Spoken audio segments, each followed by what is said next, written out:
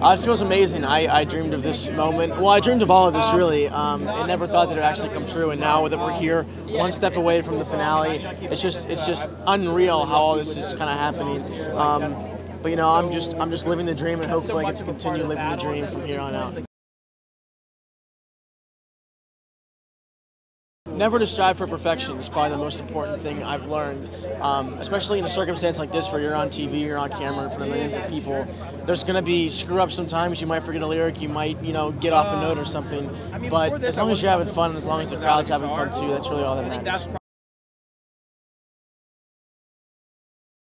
My life has tra- changed drastically. I mean, I went home this past week and sang for thousands of people, something that I've never done before and, and have dreamed of doing in my own hometown. So uh, it's, it's just been a crazy whirlwind experience, um, one that I still kind of pitch myself because I can't believe it's actually happening. But I'm just trying to take it all in and ride this journey out for as long as I can.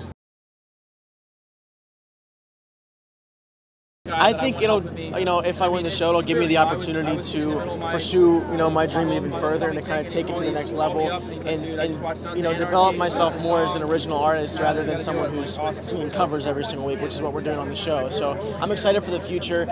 Um, this was never even part of the plan, so this just snuck in, and so I can't wait to see what happens in the next three to six months.